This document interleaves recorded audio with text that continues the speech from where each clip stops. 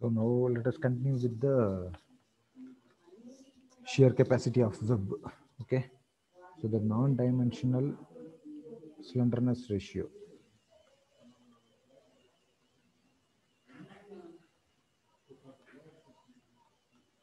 That is lambda W is equal to root under FIW divided by root 3 into gamma tau CR.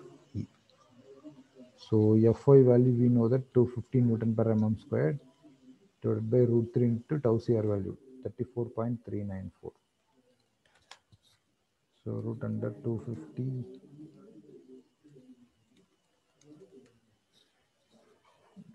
by root 3 into 34.394. So it becomes 2.048. Okay. So if it is, what is the condition that we are going to check it right now? So lambda W is, there are three criteria, less than or equal to 0.8, between 0.8 to 1.2 and greater than 1.2. So greater than 1.2 means tau B value we have to calculate. That is FIW divided by uh, root 3 into gamma W the whole square. Okay, that formula we are going to use. So lambda W is greater than 1.2. Therefore, tau B is equal to, okay, uh, FIW divided by root 3 into lambda W square. This is the formula. So Fy value is 250 root 3 into 2.048. So it becomes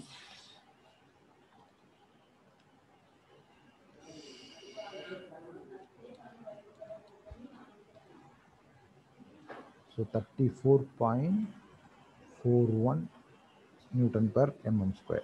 This is the value of tau b. Therefore, stress that is shear capacity of shear capacity of web VCR is equal to area of web multiplied with tau b. So area of web, depth of web into thickness of web multiplied with tau b. So 2000 into 10 into tau b value is 34.41.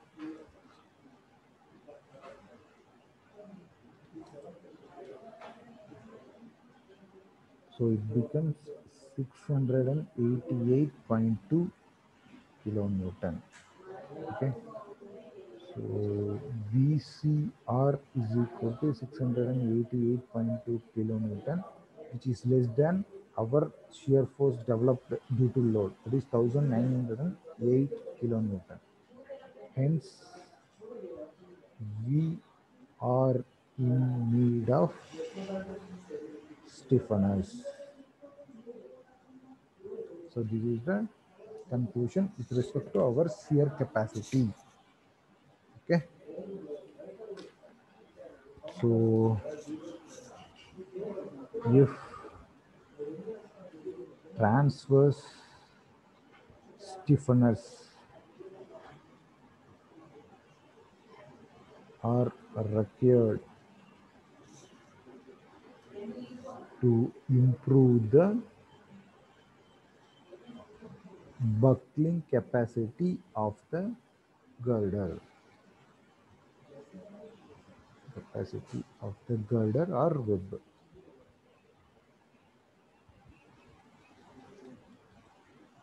Okay.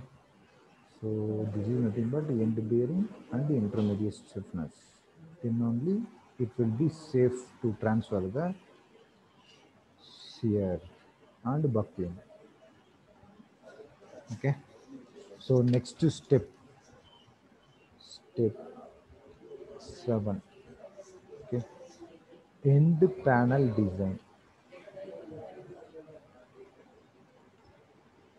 End panel design. So already said that this is our uh, section. So in between the section we are going to have our stiffeners. This is end bearing stiffeners.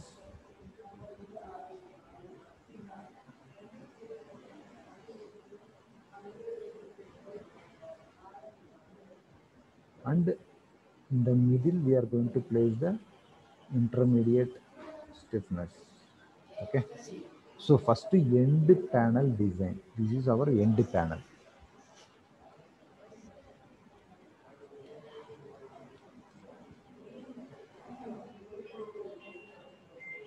These two are the end panel.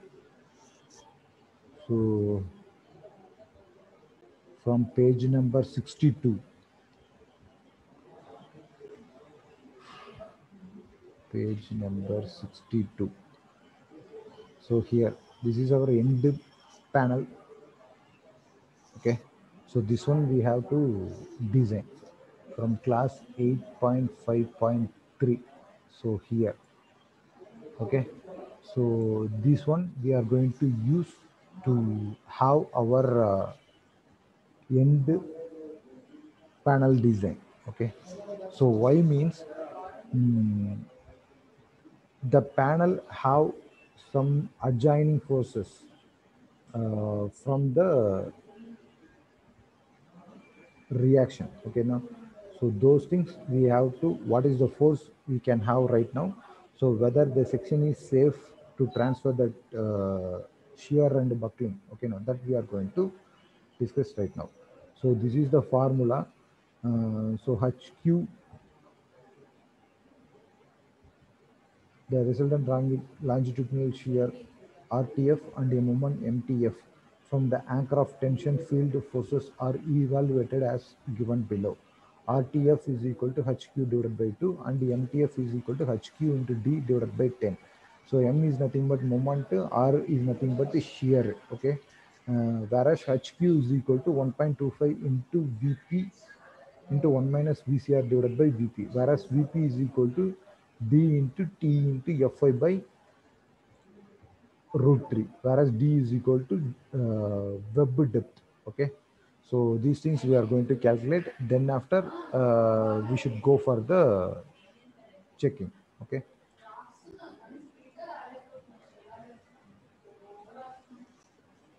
So from page number 62, okay, clause 8.5.3. Okay, the longitudinal shear.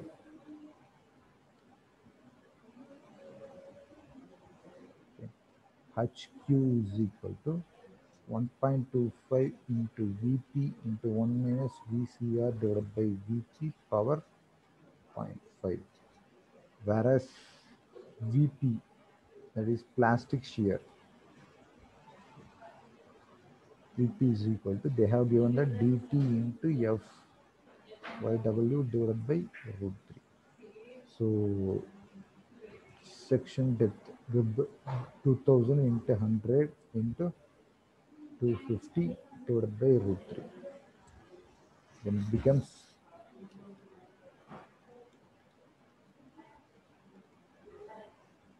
so 2 2886.75 kilonewton. Okay. Then vcr so we already calculated the value of vcr is equal to 688.2 kilonewton. So 688.2 kilonewton from previous step. Okay. Therefore hq is equal to 1.25 into 2886.75 into 1 minus 688.2 divided by 2886.2 power 0.5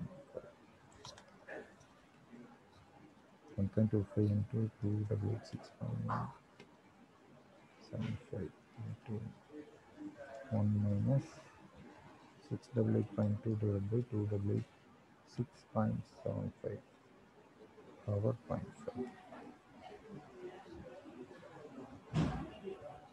So 1800 uh, and 46.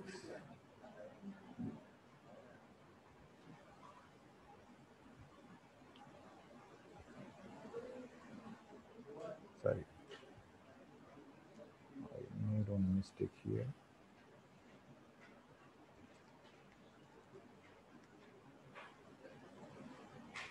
Okay. So HQ value becomes 3149 kilonewton. Therefore, resultant longitudinal shear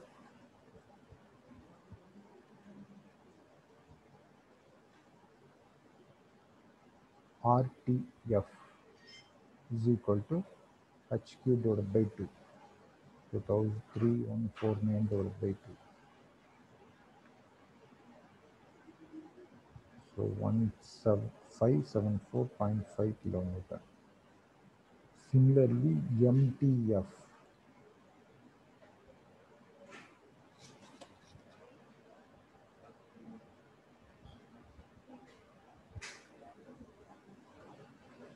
MTF is equal to HQD divided by 10.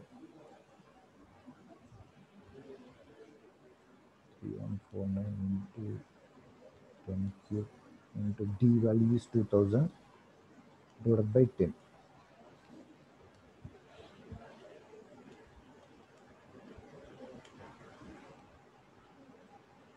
So it becomes 629.8 kilonewton meter. This is MTF value. So now we have to go for check for this resultant shear and check for this moment. Okay. Check for resultant shear.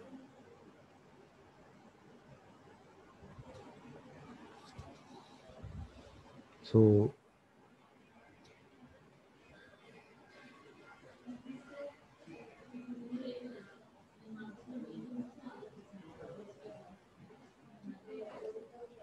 define shear strength VD VD should be greater than RTF means safe. Okay so this is condition. So RTF we got the value. VD we have to get it. So area of web multiplied with Fy divided by root 3 into gamma m naught this is the formula. So area of web so 2000 into 10 into Fy value is 250 divided by root 3 into 1.10 so it becomes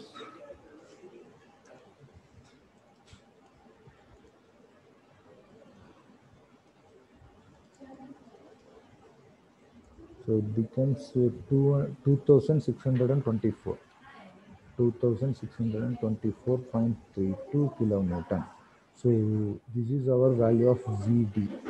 So it should be greater than our rtf so rtf value is uh, 1574.5 1574.5 kilonewton so hence safe to transfer the longitudinal shear by the web plate. So this is first. Next one is with respect to moment. Okay. Check for moment capacity.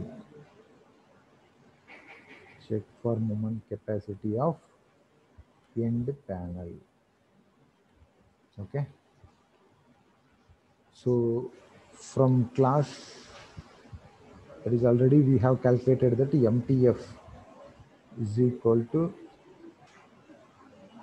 629.8 629.8 kilonewton meter. If it is uh, less than mq then it is safe. The end panel is safe. So we have to calculate mq is what so mq is nothing but from bending stress equation okay now it's a theory of simple bending equation m by i is equal to f by y okay whereas m is equal to i by y into f. f is nothing but here fy and we are having some factor of safety that is gamma m. So this is our formula. So i by y into fy by gamma m. So I value we have to calculate. Okay. So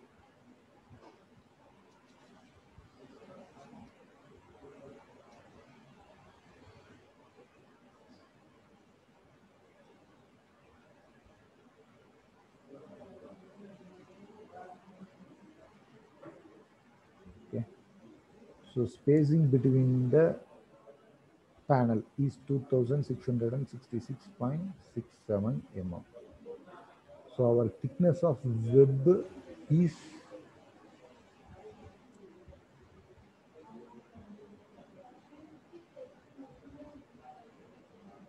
so thickness of web is 10 mm. So by using this, we are going to calculate the value of I. Okay. So BD cube by 12 formula. So 10 into 2666.67 cube divided by 12. So I'm going to use this,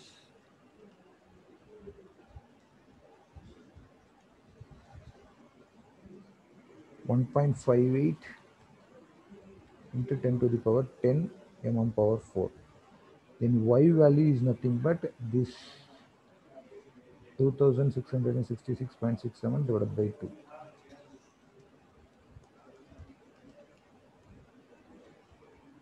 1333.35 or 334 okay. Mm so fy we know that 250 newton per mm squared and the gamma m naught is equal to 1.10 so if i'm going to substitute this mq value becomes so 1.58 into 10 to the power 10 into 250 divided by y value into gamma m naught. So I'm going to substitute this. I can get 2693.16 kilonewton meter. So this MQ is greater than our MTF. Hence the web plate or sorry, hence the end panel is safe in moment carrying capacity.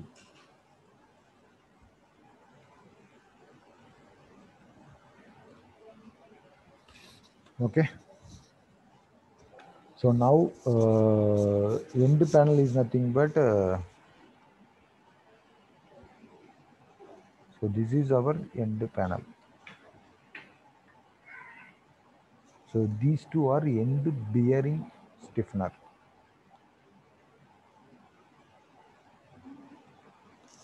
Okay. So now we we have calculated whether the end panel is safe or not to transfer the shear and the bending moment. Okay. Uh, next, we should move on to end bearing stiffener design and intermediate stiffener design. Okay. That we will continue in the next class. Thank you all.